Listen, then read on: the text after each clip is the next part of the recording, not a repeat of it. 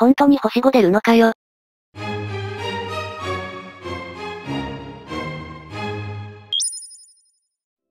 うぷ主今日は何やるんだ？今日は珍しく特集ガチャをやるよ。特集ガチャ？そう、これだよ。非属性が出やすいレッドスターズを引いてみるよ。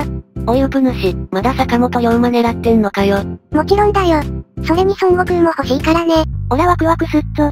今回はサブで1回、本赤で4回の計5回引いていくんだけど、本当に非属性の星5が出てくれるのか、検証してみようと思うんだ。たかだか5回引いて星5が出るのかよ。視聴者の皆さんがよく1回や2回で出ましたって言ってくれるじゃない？ウプ主だってこんなだけど、その可能性だって1000回に1回くらいはあるかもよ。まあ確かにこんなだけどあるかもな。こんなだけど引き当ててやるからな。さあやっていきますよ。まずはじめにサブからいきます。サブはなんだか知らないけど引き当てるからな。今回もこっちで出そうな気がするよ。正直こっちでは当たってほしくないです。はっきり嫌がった。私は何度もこっちを本赤にしなさいって言ってるのに譲らないから困っちゃうよねいきますよ。1回目。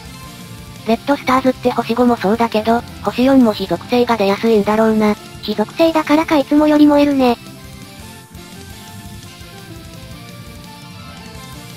残念、サブでも星4の僕だったバブー。うぷ主何ほっとしてんだ。サブで当てちゃったら運が飛んでいっちゃうからね。検証1回目非属性の星4だった。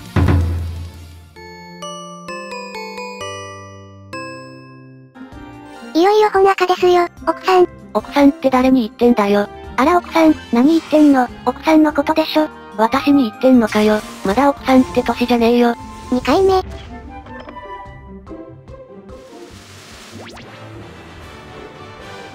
なんじゃこりゃー。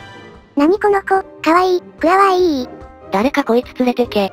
くるみ割り人形だって、このキャラも非属性だね。皆さん、いい感じに体が温まってきましたね。この調子で熱く引いていきましょう。お前一人で熱くなってんじゃねえかよ。うおー、燃えてきたぜー。突然怖えよ。3回目。本赤のいつもの流れだ。霊夢がもうすでに燃え尽きてるぜ。なかなか前回の超重心祭みたいにはいかないね。うぷ主、まだ可能性はあるわけじゃないけど、ないわけでもないよ。どっちなんだよ。霊夢、ありがとう。なんでお礼を言うんだよ。4回目。龍馬龍馬龍馬悟空悟空悟空悟空悟空。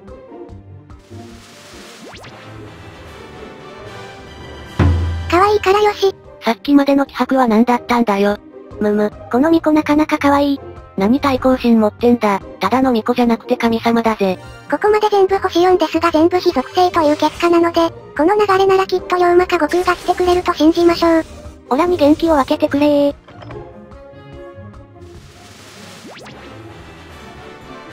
元気、俺様でよかったら分けてやるぜ。あはは。どうもありがとうございます。えーと、元気玉発動失敗しました。ということで検証結果を発表したいと思います。検証結果。星5は出なかったけど非属性がたくさん出た。雑な検証結果だな。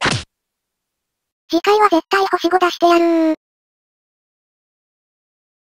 最後までご視聴していただきありがとうございます。チャンネル登録はお済みですか ?PC でご覧の方は上の登録ボタンを、スマートフォン、タブレットでご覧の方は右の画像に出ているように登録ボタンを押してください。